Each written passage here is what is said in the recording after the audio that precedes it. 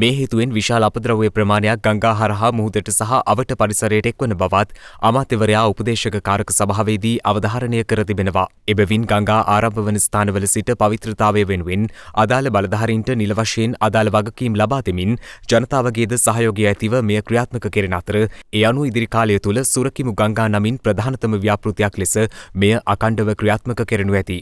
මේ අතර වයිඹ පලාතේ පොල්ලිඩම් හරා වැලි ලබාගන්නා ව්‍යාපාරයක් මේ වන විට මහා පරිමාණයෙන් සිදුවන බවත් මේ හේතුවෙන් වටිනා පොල්ලිඩම් සීක්‍ර ලෙස අහිමි වන බවත් රාජ්‍ය අමාත්‍ය ඩී.බී. හේරත් මහතා මෙහිදී අමාත්‍යවරයාගේ අවධානයට යොමු කර තිබෙනවා. ඒ අනුව මෙහිදී එම ක්‍රියාවලිය සඳහා බලපත්‍ර ලබා දීම වහාමත් හිටුවන ලෙස අමාත්‍යවරයා විසින් භූවිද්‍යා හා පතල් කැනීම් කාර්යංශයේ බලධාරීන්ට නියෝග කරනු ලැබූ බවයි පාර්ලිමේන්තු මාධ්‍යංශය සඳහන් කළේ.